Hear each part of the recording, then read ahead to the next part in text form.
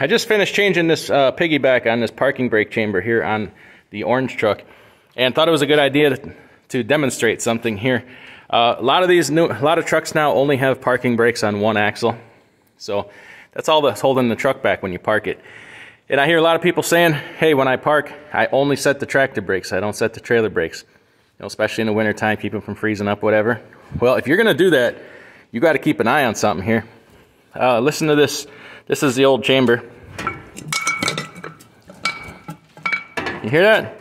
That spring inside there is broken. So that means if you only set your tractor brakes, you got one tire applying brakes for the whole tractor and trailer. And if you're on some kind of downgrade, hey, what do you think might happen? So if you're gonna do that, at very minimum, every once in a while, get your flashlight out, look up in here, make sure that doggone spring ain't broken.